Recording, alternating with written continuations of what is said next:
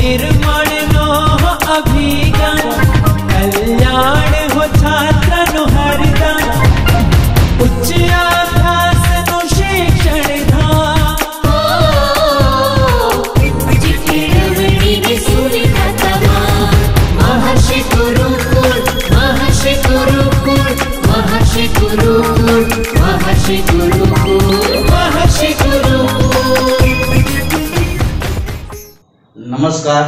વિદ્યાર્થી મિત્રો. તો ચેપ્ટર નંબર પહેલું સંખ્યા પદ્ધતિ અને એની અંદર આ છઠ્ઠો લેક્ચર છે. જેની અંદર આજે આપણે વાત કરવાની છે સ્વાધ્યાય એક પોઈન્ટ છ. તો સ્વાધ્યાય એક પોઈન્ટની અંદર આવા કંઈક દાખલા આપેલો છે કે નીચે આપેલ સંખ્યાઓનું સમય અને અસમય સંખ્યાઓમાં વર્ગીકરણ કરો. તો મિત્રો સૌપ્રથમ આની થિયરી સમજી લઈએ અને પછી આ દાખલો ગણવાની કોશિશ કરીએ. તો આની થિયરી એવી કંઈક છે કે બે સંખ્યા હોય, આ બે સંખ્યામાંથી એક સંખ્યા જો સમય હોય, સમય પ્લસ અસમય. આ બે સંખ્યાનું મિશ્રણ હોય, એટલે કે સમય અને અસમયની કોઈ પણ ક્રિયા હોય, સરવાળો હોય, બાદબાકી હોય, ગુણાકાર હોય કે ભાગાકાર. જો બે સંખ્યાનું મિશ્ર કરતા આ ચારમાંથી કોઈ પણ ક્રિયા હોય, તો આ સંખ્યા ફરજિયાત કેવી થશે? તો કે આ સંખ્યા અસમય સંખ્યા થશે. ઉદાહરણ લઈ લઉં છું. ધારી લ્યો કે સમય સંખ્યા ત્રણ છે. એની સાથે અસમય સંખ્યા ઉમેરી દઈએ વર્ગમૂળમાં પાંચ. તો જો અહીંયા સમય ત્રણ અને અસમય વર્ગમૂળ પાંચ. તો સમય અને અસમયનો પેલો શું છે? સરવાળો. તો આપેલ આ સંખ્યાને કેવી કહેશું આપણે? તો આપેલ આ સંખ્યાને આપણે અસમય સંખ્યા કહેશું. એવી રીતના ધારી લો એક સંખ્યા છે, સાત, આ સમય છે. માઇનસ વર્ગમૂળમાં બે. તો અહીંયા જો, સમય અને અસમયની બાદબાકી છે. તો બે સંખ્યાઓમાંથી એક સંખ્યા જ્યારે અસમય હોય ત્યારે હંમેશા આખી સંખ્યા છે એને આપણે કેવી કહેશું? તો કે આખી સંખ્યાને આપણે અસમય કહેશું. ધારી લ્યો કે જે આગળ આપણે વાત કરીએ, પાંચ વર્ગમૂળમાં અગિયાર. તો અહીંયા પાંચ અને વર્ગમૂળમાં અગિયાર, આ બંને ગુણાકારમાં છે. એમાંથી એક સંખ્યા કેવી છે? વર્ગમૂળમાં અગિયાર અસમય. આથી આખી સંખ્યા કેવી થશે? તો કે અસમય સંખ્યા થશે. તો આવી રીતના મિત્રો તમે સમજી ગયા. ધારી લો કોઈ ભાગાકારવાળી ભાગાકાર વાળી સંખ્યા છે કે આઠ ભાગાકારમાં વર્ગમૂળમાં ત્રણ. તો વર્ગમૂળમાં ત્રણ કેવી છે? અસમય. આથી આ સંખ્યા કેવી થશે? તો આ સંખ્યા થશે, અસમય સંખ્યા થશે. મિત્રો, અમુક ટાઈમે દાખલામાં એવું હશે કે સાદરૂપ સંપૂર્ણ નહીં હોય. તો પેલા એ દાખલાનું સાદરૂપ આપવું પડશે અને પછી શું નક્કી કરવું પડશે કે આપેલ સંખ્યા કેવી છે? સમય છે કે અસમય? જો, આપણે પેલો દાખલો જોઈએ તો બે કેવી છે? સમય. અહીં જો પાંચનું વર્ગમૂળ નથી નીકળતું એટલા માટે અસમય. તો આખી સંખ્યાનું સાદરૂપ હવે આગળ નથી આપી. તો આ સંખ્યા કેવી થઈ? તો આપેલ સંખ્યા એ કેવી થશે? અસમય થશે. આગળ વાત કરીએ. તો અહીંયા કાઉન્સ છોડશું તો શું થશે? વર્ગમૂળમાં 23 અને 23 જો શરૂઆતમાં દેખીતી રીતના શું લાગે? તો કે આ અસમય કદાચ હશે. પણ કાઉન્સ છોડશું એટલે વર્ગનું 23 23 ઉડી જશે. આથી જવાબ કેટલો વધશે? તો જવાબ 3 વધશે. તો એ 3 છે એ કેવી સંખ્યા કહેવાય? તો કે 3 છે એને સમય સંખ્યા કહેવાય. આપણે શું જાણીએ છીએ? સમય અને અસમય વચ્ચેનો તફાવત આપણે જાણીએ છીએ. સમય એટલે એવી સંખ્યા કે જેને p ના છેદમાં q સ્વરૂપ દર્શાવીએ. અને બીજું, ઈ p અને q બંને કેવા હોવા જોઈએ? તો બંને પૂર્ણાંક હોવા જોઈએ. જ્યારે અસમયમાં કેવું હશે? તો અસમયમાં p ના છેદમાં q સ્વરૂપ નહીં દર્શાવીએ.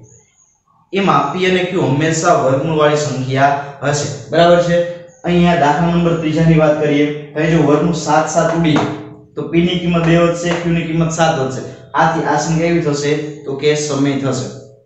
આગળ વાત કરીએ તો એક સમય, વર્ગમૂળ બે અસમય, તો આ બંનેનો ભાગાકાર એ રકમ કેટલી થશે? તો કે અસમય થશે. આગળ વાત કરીએ, તો બગડોરીની સમય, પરંતુ પાઈ છે કેવી છે? અસમય. પાઈની આપણે અનંત સુધીની કિંમત લઈ, તો એનું દશાંશ અભિવ્યક્તિ કેવી આવે? તો કે અનંત અનાવૃત આવે છે. એટલે અનંત તરફ જાય છે, પણ રિપીટ ક્યાંય થતી નથી. આથી આ 2 પાઈ આખી સંખ્યા કેવી થશે? તો કે અસમય સંખ્યા થશે. ચલો, આપણે બધા દાખલા ગણીએ.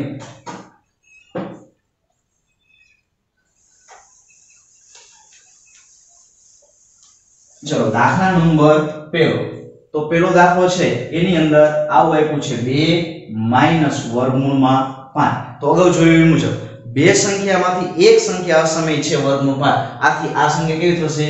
તો આથી આ સંખ્યા થશે અસમય સંખ્યા થશે. ચલો, બીજી સંખ્યા છે તો કે ત્રણ વર્ગમૂળ ત્રેવીસ. માઇનસ વર્ગમૂળ ત્રેવીસ. તો મિત્રો, દેખીતી રીતના વર્ગમૂળ ત્રેવીસ છે એ અસમય લાગે. પરંતુ આનું આપણે થોડુંક સાદુરૂપ આપશું એટલે આનું સ્વરૂપ બદલશે. એટલે જો આવું કંઈક થશે કે ત્રણ પ્લસ વર્ગમૂળ ત્રેવીસ માઇનસ વર્ગમૂળમાં ત્રેવીસ. શું થશે? તો આ પ્લસ અને માઇનસ, આ ભાગ ઉડી જશે. તો જવાબ કેટલો મળ્યો? ત્રણ. હવે ત્રણ છે, એને ત્રણના છેદમાં એક, એટલે પીના છેદમાં કેવું સ્વરૂપ? દર્શાવીએ આથી ત્રણ કેવી થશે? તો કે ત્રણ એ સમય સંખ્યા થશે. બરાબર છે? આગળ વાત કરીએ. તો રકમ ત્રીજી. તો ત્રીજી રકમ આવી ગઈ કે છે? બે વર્ગમૂળમાં સાત. છેદમાં સાત વર્ગમૂળમાં સાત. તો મિત્રો, અહીંયા સમાન વર્ગમૂળ સાત શું થશે? કેન્સર. આથી જવાબ શું મળશે? તો કે બે ના છેદમાં સાત. તો બે ના છેદમાં સાત એટલે પી ના છેદમાં કયું સ્વરૂપ મળ્યું? આથી આ સંખ્યા કેવી થશે? આથી આ સંખ્યા થશે. સમય સંખ્યા થશે. આગળ આપણે વાત કરીએ તો એકના છેદમાં વર્ગમૂળમાં બે. તો મિત્રો, અહીંયા એક કેવી છે સમય છે? પણ બે નું વર્ગમૂળ નથી નીકળતું, આથી કેવી છે? અસમય. આથી એકના છેદમાં વર્ગમૂળમાં બે. એ સંખ્યા કેવી થશે? તો કે અસમય સંખ્યા થશે. આગળ આપણે વાત કરીએ દાખલા નંબર પાંચ. તો પાંચમાં આપ્યું છે ટુ પાઈ તો મિત્રો, બે છે, એ સમય છે. જ્યારે આ પાઈ કેવી છે? અસમય છે. આથી સમય અને અસમય બે સંખ્યાનો ગુણાકાર. તો આ સંખ્યા કેવી થશે? તો આ સંખ્યા થશે, અસમય સંખ્યા થશે. તો મિત્રો, આ લેક્ચરમાં જોયું મુજબ એવું કંઈક યાદ રાખવાનું છે કે બે સંખ્યામાંથી જો એક સંખ્યા અસમય હોય, તો સંપૂર્ણ સંખ્યા અસમય થશે. નમસ્કાર, મિત્રો. તો છેલ્લે આપણે દાખલા નંબર પહેલાની અંદર આવતા પેટા પ્રશ્નની ચર્ચા કરી હવે આગળ આપણે વાત કરવી છે દાખલા નંબર બીજો, જેનું ટાઇટલ છે સાદુરૂપ આપો. તો મિત્રો, આની અંદર ટોટલ જેટલા દાખલા છે, તમામ દાખલાઓની અંદર ત્રણ સૂત્ર આવશે. હવે ત્રણ સૂત્ર છે એ આપણે ધોરણ સાત, આઠમાં ચર્ચા કરેલી છે. તો એ સૂત્રની પહેલાં આપણે રિવિઝન કરી લઈએ અને પછી આપણે આગળ દાખલાની શરૂઆત કરીએ. તો સૂત્ર નંબર પહેલું, તો આ સૂત્રનો આપણને ખ્યાલ છે કે એક્સ પ્લસ વાયનો વર્ગ હોય તો.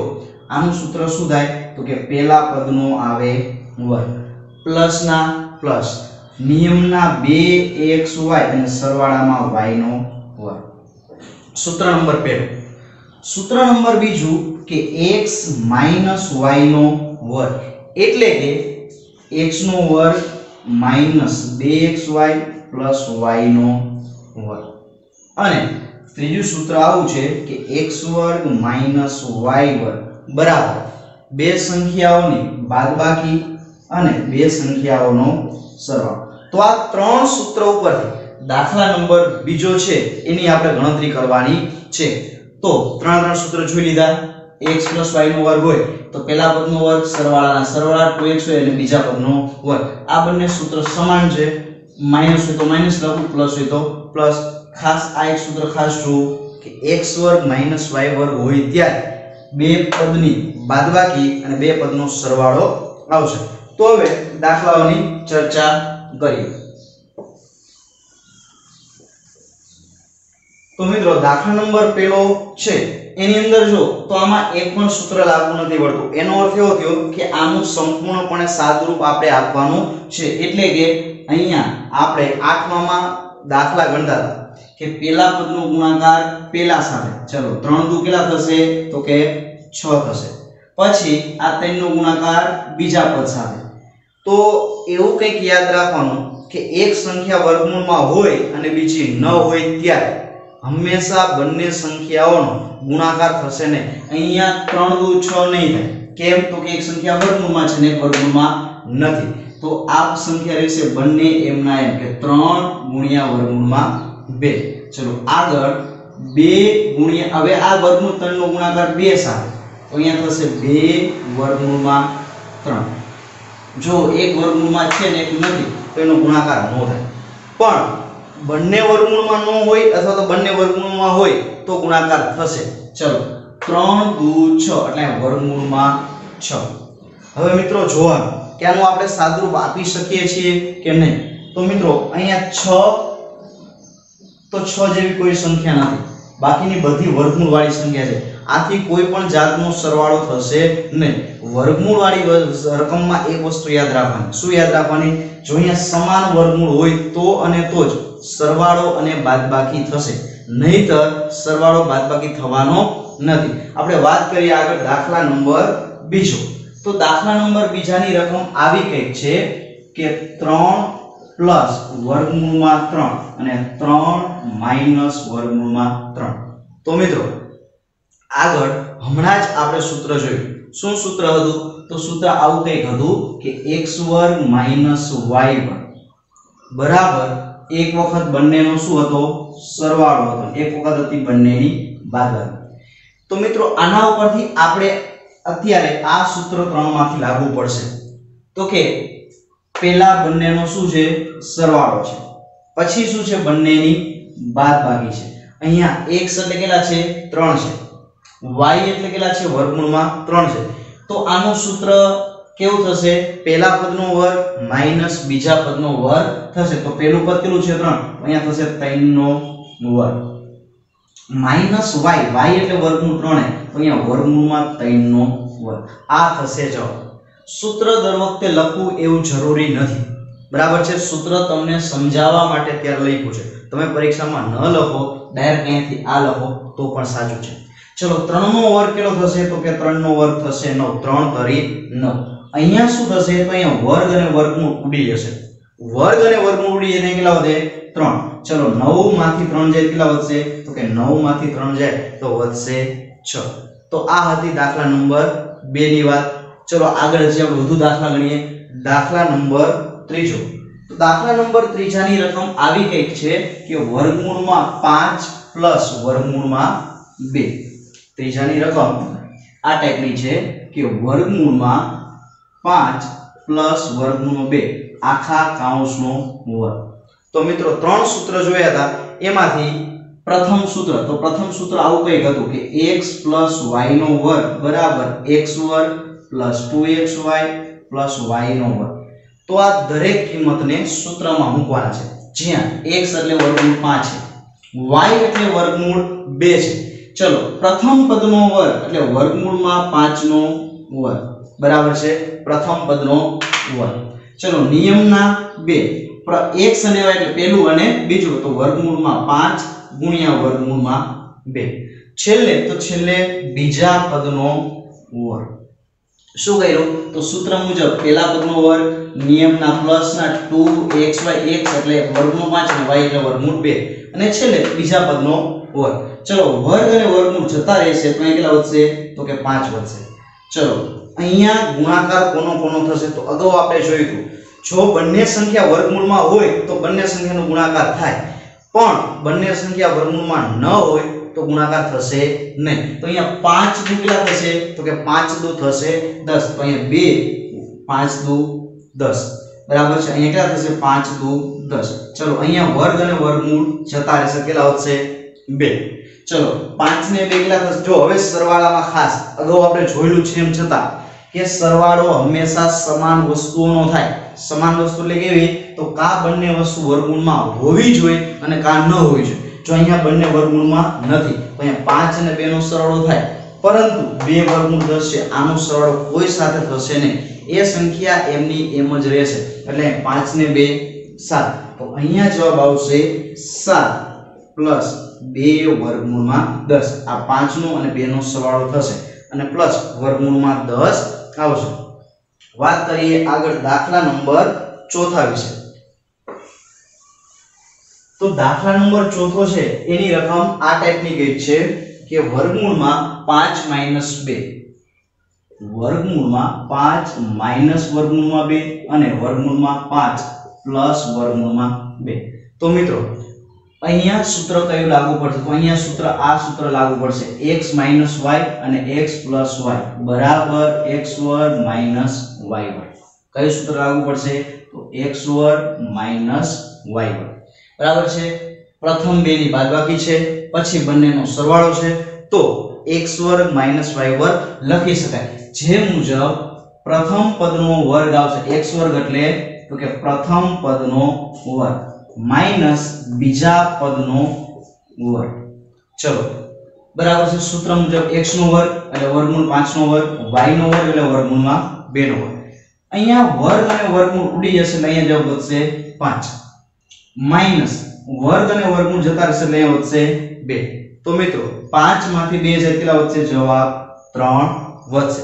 તો સાદું રૂપમાં આ ટાઈપના દાખલા આપણે ધોરણ 8 માં ગણેલા જ છે.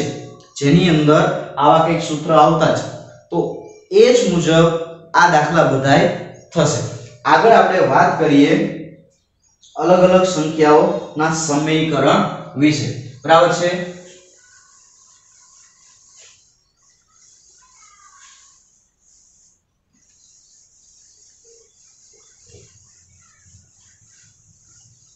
ચલો, તો આપણે દાખલા નંબર પહેલો અને બીજો જોયો.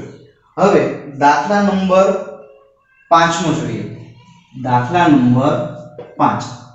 હવે દાખલા નંબર પાંચની અંદર એક થિયરી આવે છે. એ થિયરી પહેલાં સમજી લઈએ અને પછી આપણે આગળ દાખલાઓ ગણવાની કોશિશ કરીએ. તો થિયરી એવી કંઈક છે કે છેદનું સમીકરણ કરવું છેદનું સમીકરણ કરવું હવે છેદનું સમીકરણ કરવું એટલે શું? તો મિત્રો, છેદનું સમીકરણ કરવું એટલે બીજું કાંઈ નહીં. તમારો છેદ રહ્યો ને એ કેવો હશે? તો છેદ રહ્યોની અસમય હશે. આ છેદ કેવો હશે? અસમય હશે. આ અસમય છેદને સમય બનાવો. આ સમય અસમયમાંથી શું બનાવો? સમય. તો આ પ્રક્રિયાને શું કહેવાય? સમીકરણ કહે છે. અને આ સમીકરણ પ્રક્રિયા કઈ રીતના થાય છે? એ આપણે એક થી બે ઉદાહરણ લઈને સમજી અને પછી જ એના દાખલા ગણીએ. ધારી લો કોઈ એક રકમ છે, આવી છે. વન અપોન વર્ગમૂળમાં ત્રણ. એકના છેદમાં વર્ગમૂળમાં ત્રણ. તો શું કરવાનું આ અત્યારે છેદ કેવો છે? આ છેદ અત્યારે કેવો છે? તો કે છેદ અત્યારે છે ને અસમય. કેવો છે? તો કે અસમય છે. હવે છેદને કેવો બનાવવો છે? તો કે છેદને સમય બનાવવો તો એના માટેની રીત છે. જ્યારે એક જ પદ હોય ત્યારે, મિત્રો આગળ આપણે બે પદની પણ રકમ આવશે. પરંતુ એક જ હોય ત્યારે ત્યારે શું કરવાનું છે? તો મિત્રો ત્યારે અંશ અને છેદને આ રકમ આપી હોય એ જ રકમ વડે ગુણી એ છેદ ન હોય વર્ગમૂળ ત્રણ ને, તો અંશ અને છેદને વર્ગમૂળ ત્રણ વડે ગુણી દો શું રીતે? તો જે સંખ્યા આપી એ જ સંખ્યા વડે ગુણી દો હવે શું થશે મિત્રો? હવે થશે એવું વર્ગમૂળમાં ત્રણ એકા થશે વર્ગમૂળમાં ત્રણ. હવે ત્રણ તરી કેટલા થાય? તો કે ત્રણ તરી વર્ગમૂળમાં નવ. ચલો, ત્રણનું વર્ગમૂળ નીકળતું નથી. ચલો, નવનું વર્ગમૂળ નીકળશે. નવનું વર્ગમૂળ કેટલું નીકળશે? તો કે ત્રણ. તો મિત્રો, જો છેદ કેવો હતો? અસર હવે છેદ કેવો થઈ ગયો? તો હવે છેદ સમય સંખ્યા થઈ. તો આ પ્રક્રિયાને છેદનું સમીકરણ કહે છે. ફરી એકવાર જોઈએ કે અસમય સંખ્યામાંથી સમય સંખ્યા બનાવવાની પ્રક્રિયાને સમીકરણ કહે છે. જ્યારે એક પદ હોય ત્યારે રીત શું કહે છે? અંશ અને છેદ. બંનેને સમાન સંખ્યા વડે ગુણી દો વર્ગમૂળ ત્રણ વડે ઉપર નીચે ગુણી એટલે થશે શું? તો એ સંખ્યાનો વર્ગ થશે. એ વર્ગ કરશે શું? તો વર્ગ વર્ગનું સાથે ઉડાડી દેશે. એટલે જવાબ અસમયમાંથી કેવો થઈ જશે? સમય. ચલો મિત્રો, હવે તમને ધારી લ્યો કે બે પદ આવે. આ હતા ને કેવા હતા? એક પદ હતા. હવે તમને ધારી લ્યો ક્યારેક રકમ આવી આપી દે એકના છેદમાં વર્ગમૂળમાં પાંચ માઇનસ વર્ગમૂળમાં ત્રણ. તો મિત્રો, અત્યારે આ છે કેવી છે? અસમય છે. અત્યારે કેવી છે આ સંખ્યા? અસમય છે. આની કેવી બનાવવાની એ? તો અહીંયા બનાવેલી મુજબ સમય બનાવી છે. એટલે કે છેદનું સમીકરણ કરવું. તો આ રીતમાં થોડુંક અલગ છે. આમાં જે સંખ્યા હતી એ જોડે આપણે ઉપર નીચે ગુણતા હતા. આની અંદર જરાક અલગ આવશે. શું અલગ આવશે જરાક જુઓ. અહીંયા શું છે? તો માઇનસ હોય ને, તો પ્લસ લેવાના, પ્લસ હોય તો માઇનસ લેવાના. એટલે કે અત્યારે વર્ગમૂળ 5 માઇનસ વર્ગમૂળ 3 ને, તો અહીંયા એને વર્ગમૂળ 5 પ્લસ વર્ગમૂળ 3 આટલા વડે ગુણવાના અને આટલી જ સંખ્યા વડે ભાગવા શું કર્યું? માઇનસ હતું તો પ્લસ વડે.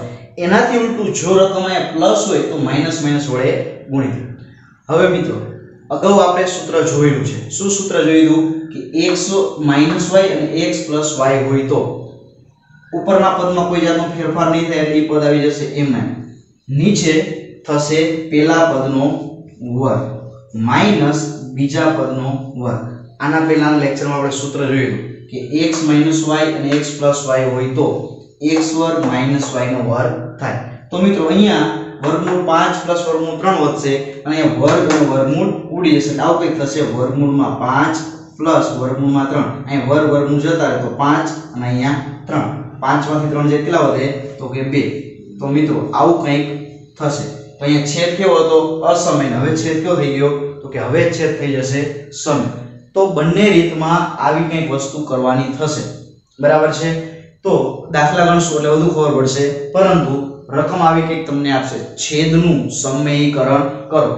જો એક જ પદ હોય, તો સમાન સંખ્યા વડે ગુણવાના. અને બે પદ હોય તો માઇનસ હોય ત્યારે પ્લસ કરવાના અને પ્લસ હોય ત્યારે માઇનસ. એવું કરશું એટલે આ સૂત્ર લાગુ પડશે એક્સ વર્ગ માઇનસ વાય વર્ગ. ત્યારે આપણે શું કરવાનું છે? તો કે ત્યારે આપણે આ સંખ્યામાં સૂત્ર મૂકતા જવાબ અસમયમાંથી સમય આવી જશે. હવે આપણે દાખલા નંબર પાંચ વિશે ચર્ચા કરીએ. તો પાંચમાની રકમ પેલા શું છે એ જરાક જુઓ. તો પાંચમાની રકમ છે આવી કંઈક છે કે છેદનું સમીકરણ કરો. છેદનું સમીકરણ કરો. એની અંદર દાખલા નંબર પેલો તો પહેલાની રકમ આવી ગઈ છે. તો અગાઉ આપણે જોયું એ જ મુજબ છેદ કેવો હશે? અસમય ચલો, છેદ કેવો તો અહીંયા? અસમય તો અહીંયા પણ છેદ કેવો છે? અસમય આ છેદને આપણે સમય બનાવવાનો છે. તો અગાઉ જોયું એ જ મુજબ આ સંખ્યા છે 1 upon વર્ગમૂળમાં 7 આને અંશ અને છેદ વડે એ જ સંખ્યા વડે ગુણી દો એટલે વર્ગમૂળમાં 7 છેદમાં વર્ગમૂળમાં 7 કરી નાખો. ચલો, વર્ગમૂળમાં 7 એકા વર્ગમૂળમાં 7 ચલો સત્યો સત્યો કેટલો થશે? 49 ચલો સત્યો સત્યો 49 ચલો 49 નું વર્ગમૂળ કેટલું થશે? તો કે 7 થશે. અહીંયા વર્ગમૂળમાં 7 અને છેદમાં 7 તો જો, અહીંયા વર્ગમૂળ 7 કેવો હતો? અસમય હતું. પરંતુ અહીંયા વર્ગમૂળ વર્ગમૂળ 7 છે કેવી છે સમય તો આ રકમ છે, આને કહેવાય છેદનું સમીકરણ કર્યું કહેવાય. આગળ આપણે વાત કરીએ દાખલા નંબર બીજો. તો આગળ દાખલા નંબર બીજો છે, આવો કંઈક છે કે વન અપોન વર્ગમૂળમાં 7 માઇનસ વર્ગમૂળમાં છ. તો મિત્રો કરવાનું શું છે? તો અગાઉ જોયું તે મુજબ કે આનું સમીકરણ કરવું હોય તો માઇનસ હોય તો એનો પ્લસ લેવાનો. આવું કંઈક આપણે સમજાતા. એટલે કે રીત મુજબ વર્ગમૂળમાં સાત, માઇનસ વર્ગમૂળમાં છ, ઉપર નીચે પ્લસ વડે કરણી લઈ લો વર્ગમૂળમાં સાત, પ્લસ વર્ગમૂળમાં છ.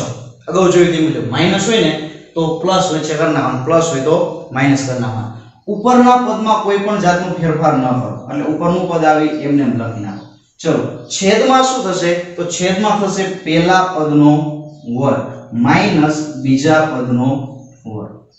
ચલો, ઉપરના પદમાં કોઈ જાતનો ફેરફાર નહીં આવે, એટલે એ એમના એમ અહીંયા વર્ગ અને વર્ગનું ઉડી જશે અહીંયા પણ વર્ગ અને વર્ગનું ઉડી જશે એટલે હાથ માઇનસ છ. હાથમાંથી છ જાય તો એક. તો એક આપણે ન લખીએ તો પણ ચાલે. એટલે આપણો જવાબ થશે વર્ગનું સાત પ્લસ વર્ગમાં છ ના છેદમાં એક. તો આ એક છે, એ કેવો છે? તો કે આ એક છે એ સમય છે. અહીંયા કેવો હતો? તો કે અસમય હતો. તો મિત્રો, આને કહેવાય સમયમાંથી અસમય બનાવવાની પ્રક્રિયા. એટલે કે સમયકરણની પ્રક્રિયા કહેવાય. આગળ આપણે વાત કરીએ દાખલા નંબર ત્રીજો. તો મિત્રો, દાખલા નંબર ત્રીજો છે. એની અંદર આવી કંઈક રકમ આપી છે કે એકના છેદમાં વર્ગમૂળમાં પાંચ. એકના છેદમાં વર્ગમૂળમાં પાંચ પ્લસ વર્ગમૂળમાં બે. આવી કંઈક રકમ છે કે એકના છેદમાં વર્ગમૂળમાં પાંચ, પ્લસ વર્ગમૂળમાં બે. તો આ રીત જેવો જ છે.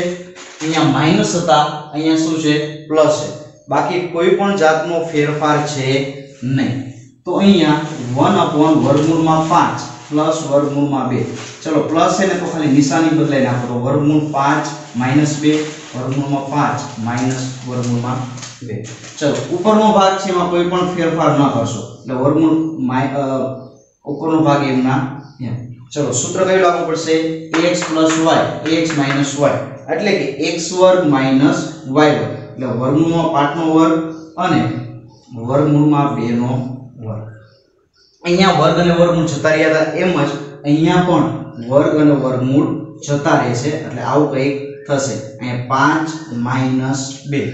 તો મિત્રો, પાંચ માઇનસ બે એટલે કેટલો જવાબ આવશે? તો કે ત્રણ આવશે. તો વર્ગમૂળમાં પાંચ માઇનસ વર્ગમૂળ બે છેદમાં ત્રણ. તો જો અહીંયા શું હતું? તો અહીંયા અસમય હતું.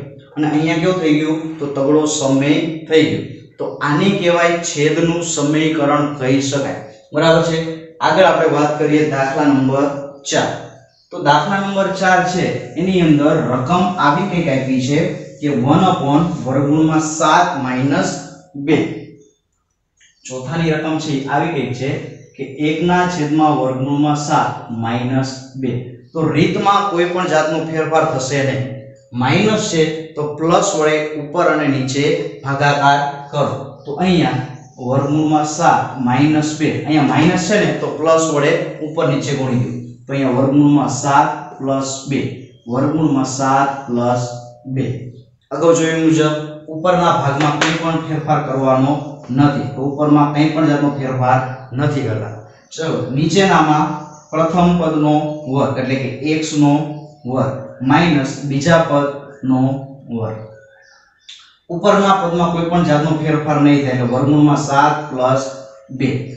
નીચે શું થશે? તો અહીંયા વર્ગ અને વર્ગમૂળ ઉડી જશે. અહીંયા બેનો વર્ગ કેટલો થશે? ચાર. ચલો, સાતમાંથી ચાર જેટલા વધે? તો કે સાતમાંથી ચાર જાય કેટલા વધે, તો કે ત્રણ વધશે. તો મિત્રો જો અહીંયા અસમય હતો અને અહીંયા કેવું થઈ ગયું? સમય.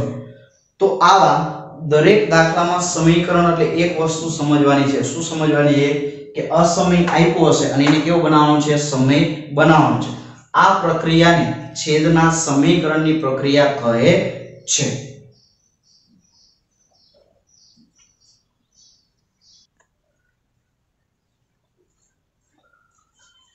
નમસ્કાર, મિત્રો.